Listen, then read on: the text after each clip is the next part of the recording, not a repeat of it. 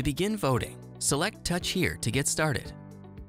You will be asked to enter your random 5-digit access code. This ensures you get the right ballot. If you weren't given an access code at check-in, your poll worker will start your voting session for you.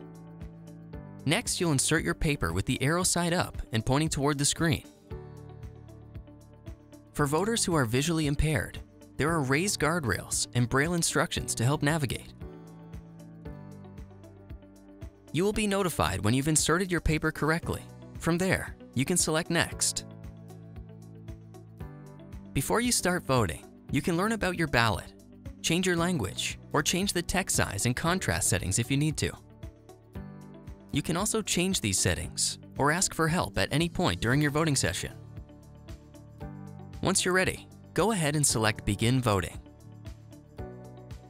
Mark your selections using the touchscreen or the accessible device.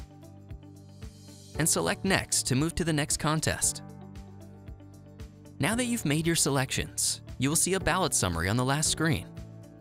Review your selections. If you need to make a change, select the contest, make your change, then select Return to Summary. After you've reviewed your summary ballot, select Print Record. You will be asked one last time if you want to print your vote record. Select Yes, Print My Record.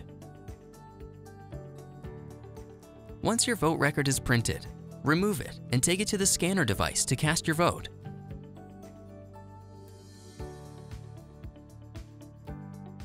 Lighted arrows direct you where to insert your vote record to be scanned and recorded.